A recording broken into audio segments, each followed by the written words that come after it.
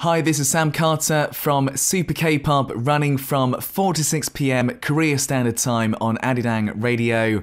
I know lots of you are worried with the global spread of COVID-19 virus and every day might be a struggle. In these difficult times, let's try to support each other as much as we can and I'm sure that we can beat it. Let's beat this thing together. Stay strong, world.